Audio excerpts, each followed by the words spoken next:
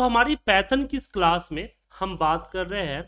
Mathematical functions हमने इससे पिछली वीडियोज़ में आपके साथ बात की थी, मैथमेटिकल ऑपरेशन हमने बात की थी प्लस माइनस डिवाइड और बाकी और भी ऑपरेटर्स की मदद से किस तरह से आप मैथमेटिकल कैलकुलेशन कर सकते हैं। अब बात करते हैं कुछ मैथमेटिक की फॉर्मूला तो मैथमेटिक का फॉर्मूला लगाने से पहले आपको इम्पोर्ट मैथ करना होगा। जैसे कि मैंने यहाँ पे लिखा इम्पोर्ट मैथ इससे क्या हुआ कि मैथ की जो जो मॉड्यूल है, हमने उसको कॉल कर लिया। उसके बाद आसानी से मैं दे सकता हूँ, जैसे कि x इक्वल टू हमने यहाँ पे लिखा मैथ और मैथ में हमने क्या दे दिया? हमने मैथ में डाल दिया स्क्वायर रूट स्क्वायर रूट और उसमें हमने मान लीजिए सिक्सटीन दे दिया। तो इस सिक्सटीन का स्क्वायर करके दे देगा। आप यहाँ पे देख सकते हैं कि प्रिंट प्रिंट में मैंने एक्स किया और यहाँ जब इसको हम रन करते हैं तो आप देखेंगे कि यहाँ पे ये आपका फोर पॉइंट ज़ीरो आ गया। तो हमने स्क्वायर से इसका निकाल लिया। लेकिन क्या ये तरीका है या कुछ और तरीका भी हो सकता है? देखिए, आप इसको इस तरह से भी कर सकते हैं कि इम्पोर्ट मैथ एज तो जहाँ पे मैंने मैथ डॉट स्क्वाड किया है, वहाँ पे हम एम डॉट स्क्वाड करेंगे। तो ये शॉर्ट फॉर्म हो जाता है। तो अगर मान लीजिए मुझे कुछ और निकालना है, जैसे यहाँ पे मैंने लिख देते Y equal to M dot square T square और इसके जगह पे मैं ट्वेंटी फाइव कर दिया। और मैं यहाँ पे y को लूँ तो ये आपका y का मान आ जाएगा रन करते ही। ये देखिए फाइव फाइव आ गया। तो इस तरह से आप इसका यूज़ कर सकते हैं। या आप इस तरह से भी इंपोर्ट कर सकते हो। आप लिख सकते हो कि फ्रोम मैथ इंपोर्ट इंपोर्ट हो गया। इंपोर्ट करना था। इंपोर्ट क्यू आर टी तो हम इस तरह से भी इसका इस्तेमाल कर सकते हैं। फिर यहाँ पे डायरेक्ट हमें स्क्वाड लिख देंगे, यहाँ पे अब लिखने की ज़रूरत नहीं पड़ेगी। स्क्वायर डायरेक्ट स्क्वायर लिख सकते हैं। मतलब कि फिर में एम डॉट स्क्वायर करने की ज़रूरत नहीं है, जैसे कि मैं यहाँ पे जेड यहीं पे मैं लिख दूँगा एस क्यू आर टी देखें स्क्वायर टू और यहाँ पे मैं थर्टी सिक्स कर सकता हूँ। एक तरीका है, आप किसी भी फ़ंक्शन मैथ फ़ंक्शन को कॉल कर रहे हैं, आप और भी जितने भी फ़ंक्शन है उसकी इसी तरह से आप कॉल कर सकते हैं। सिंपल अब जैसे कि इसमें अब बात करें कि मैथ के और फॉर्मूला होते कितने तरह के हैं।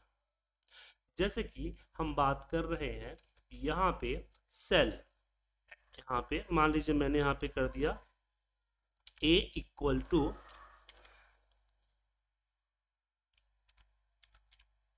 सेल। अब बट सेल तो हमने इंपोर्ट किया ही नहीं तो यहाँ पे एम डॉट करना पड़ेगा। या फिर एड कर दीजिए सेल। और सेल के अंदर में मैंने यहाँ पे दे दिया, मान लीजिए 560 कॉमा हमने यहाँ पे दे दिया 100 तो क्या आएगा? चलिए एक बार देखते हैं कि ये रिज़ल्ट क्या देता है। फिर मैं समझाता हूँ आपको क्या कि फॉर्मूला करता क्या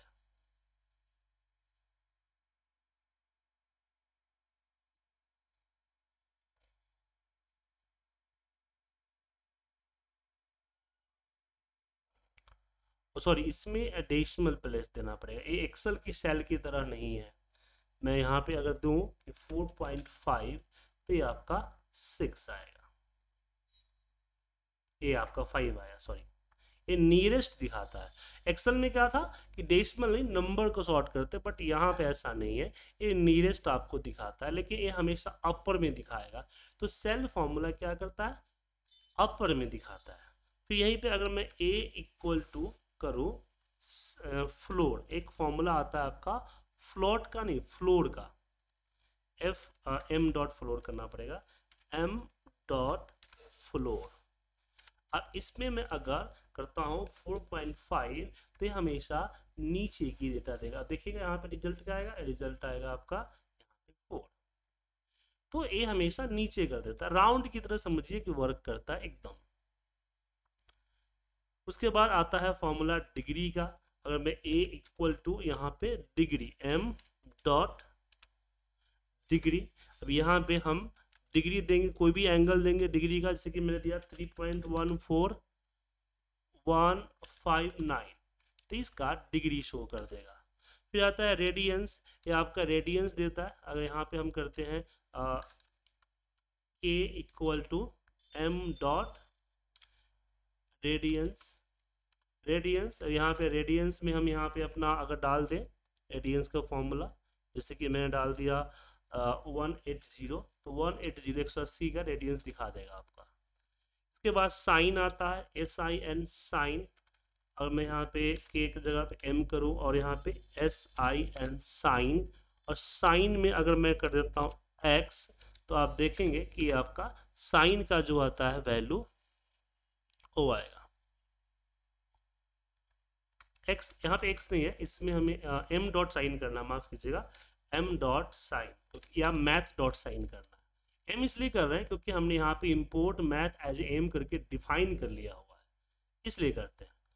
या फिर जितने फॉर्मूले की ज़रूरत है, वो फॉर्मूले इस तरह से यहाँ पे कॉमा कॉमा कॉमा करके इम्पोर्ट कर लीजिए तो फिर आपको वेरिएबल को कॉल करने की ज़रूरत नहीं होगा। तो यहाँ पे ज़ीरो पॉइंट फाइव ज़ीरो का देता हूँ तो इसका जो है रेडियंस निकाल के दे देगा आपको। उसके बाद साइन हो गया तो जही सी बात है कॉस भी होगा तो M equal to M dot cos cos और यहाँ पे कॉस का जो मान है, वो कॉस का मान आप देंगे तो कॉस का मान उसी तरह से आपका आता है टेन आपको एम साइन थीटा हो गया कॉस थीटा तो टेन थीटा भी होगा तो T equal to M dot tan tan और टेन में हमने भी ज़ीरो पॉइंट फाइव ज़ीरो किया तो टेन आ जाएगा। उसके बाद ये आपका आता है E X P return the exponent of X E X P की फॉर्मूला होता है तो मैंने यहाँ पे E equal to M dot हमने डाला। ई e, यहाँ पे E X P bracket open और फिर यहाँ पे अपना जो डालना चाहते हो डाल सकते हो अपना जो वैल्यू है तो ज़ीरो पॉइंट फाइव कर देते हैं। जो भी आप डालना चाहते हैं। हालाँकि मैथ फॉर्मूला है, उतना यूज़ होता नहीं है, लेकिन इसका इस्तेमाल आप कर सकते हैं। अब इसी में आता है फ्लॉट ए वी एस हम F equal to F A V S float A V S होता है, उसको भी देख लेते हैं। फ्लॉट ए वी एस में अगर मैंने वैल्यू माइनस में डाला तो प्लस में रिटर्न करेगा। जी हाँ अगर हमने माइनस में डाला तो प्लस में रिटर्न करेगा।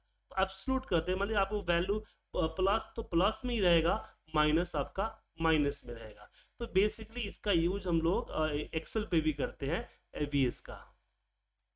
तो प्लस प्लस में रहेगा और एवीएस एवीएस में रहेगा। उसके बाद आता है फैक्टोरियल तो ऐसे मैंने यहाँ पे यू इक्वल टू हमने कर दिया। एम डॉट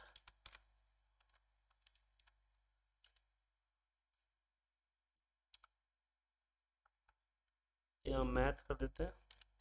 मैथ डॉट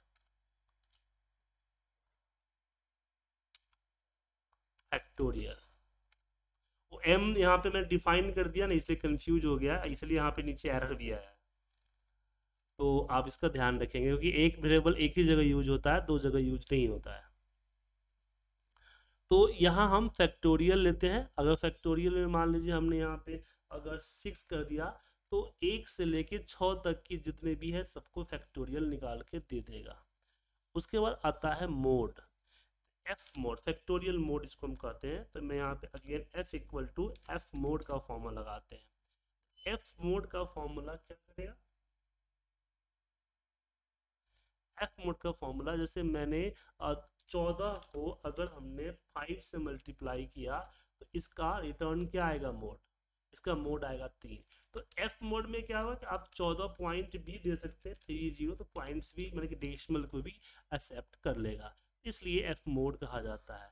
ऐसी आती है एफ़ सम एफ़ सम मतलब कि अब मैं यहाँ पे एक इक्वल टू एफ़ मैथ अच्छा इसमें हमने ऊपर मैथ नहीं लगाया।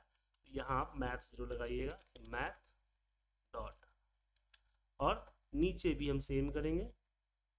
F equal to math dot हम करेंगे एफ़ सम सम और यहाँ पे अब वैल्यू दे दीजिए जितने वैल्यू को सम करना है डेसिमल है डेसिमल चलेगा, और नॉर्मल है आपका नॉर्मल चलेगा। सबको सम कर देगा। अब यहाँ पे एम के जगह पे मैं यहाँ पे एम टी कर देता हूँ एम टी यहाँ भी एम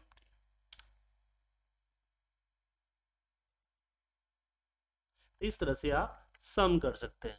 सम के बाद यहाँ पे एक मोड का भी फॉर्मूला आता है, जो कि नंबर्स को करता है। जैसे कि एफ़ इक्वल टू हमने एम डॉट हमने यहाँ पे मोड का फॉर्मूला लगा दिया मोड मोड भी है मोड एफ़ भी है। मोड एफ़ है मत कीजिएगा मोड नहीं होता है मोड एफ़ होता है। तो मोड एफ़ में मैं सेम चीज़ है कि अगर मैं टू पॉइंट फाइव सिक्स दिया तो ये मुझे रिटर्न करेगा ज़ीरो पॉइंट फाइव सिक्स मतलब जो डेसिमल्स है, उसको अलग कर देगा और नंबर को अलग कर देगा। दोनों का अलग रिटर्न करेगा। ऐसे आपका लॉग है स्क्वायरटी है पावर है। अगर मैं यहाँ पे equal to M dot P O W कर दूँ पावर और मैं इसमें करता हूँ कि मैं टेन को टू से करूँ तो ये आपको टेन स्क्वायर निकाल के दे देगा। टेन को टू से करूँगा तो क्या दे देगा? टेन स्क्वायर निकाल के मुझे दे देगा। उसी तरह से अगर मैं जी सी डी करूँ, जैसे कि G equal to M dot G C D तो ये होता है ग्रेटेस्ट कॉमन डिवाइडर जी हाँ ग्रेटेस्ट कॉमन डिवाइडर तो मैं बोलूँ कि पाँच और पच्चीस का कॉमन डिवाइडर क्या है? तो ज़ाहिर सी बात है, पाँच आएगा पाँच आएगा यहाँ पे